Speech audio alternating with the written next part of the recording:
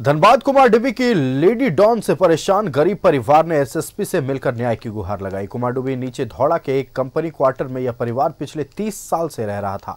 दो दिन पहले पीड़ित प्रदीप नोनिया क्वार्टर में ताला बंद कर पड़ोस की पूजा देवी को चाबी देकर ससुराल गई।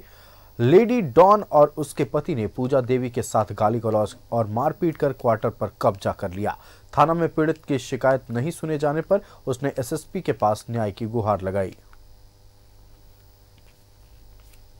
हाँ बोले देखिए ऐसे ऐसे हो रहा मेरे संगे हम तो बोल रहा कि पहले बोले ठीक है आपका काम हो जाएगा आप तीस साल से रह रहे तो आपका अंडर में आपको क्वार्टर है आपको तीस साल से रह रहे तो उसका मतलब आपको हुआ जो आपको यहाँ आना पड़ा?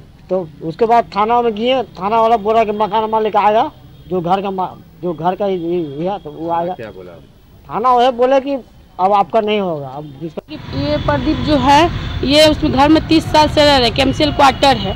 हैं और तीस साल बाद एक व्यक्ति आके कह रहा है कि मेरा घर है। राम रूप यादव उसका नाम है। और राम रूप आकर थाना में बोला कि ये मेरा घर है। तो ये राम रूप को मैं का घर है तो राम रूप को ना रहना चाहिए। ये बेबी देवी एगो बगल में रहती है, वो घर में ताला मार दी। ये गया दो तीन दिन के लिए हमको देखने के लिए ससुराल कि लीजिए मेरा घर देखिएगा, चाबी लीजिए, हम आएँगे तो चाबी दे दीजिएगा।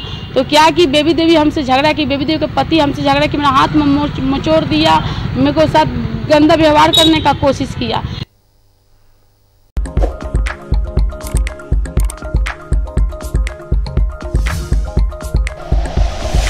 Like and share videos, subscribe करें हमारा चैनल और प्रेस करें बेल आइकॉन न्यूज़ 11 भारत सच है तो दिखेगा।